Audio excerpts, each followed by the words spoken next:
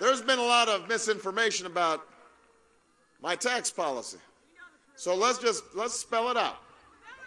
I will give a tax break to 95% of Americans who work every day and get taxes taken out of their paycheck every week.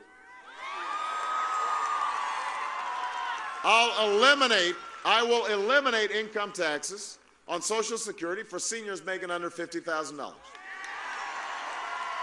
We're going to give homeowners and working parents additional tax breaks. And I'll help pay for this by asking folks who are making more than a quarter million dollars a year to go back to the tax rate they were paying in the 1990s before the Bush tax cuts. Now, let me point out, let me point out that rich folks were doing fine in the 90s. They were still rich. Let me see a show of hands. How many people make less than a quarter million dollars a year? Raise your hands. All right, that would appear to be the majority of you.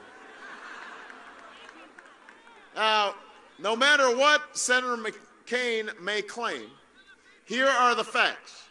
If you make under $250,000, you will not see your taxes increased by a single dime.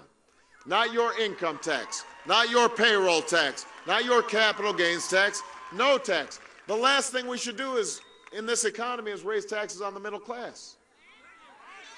But that's the last thing we should do. So don't be confused by these ads. 98% of small businesses make less than a quarter million dollars a year. And 99.9% of plumbers make less than a quarter million dollars a year.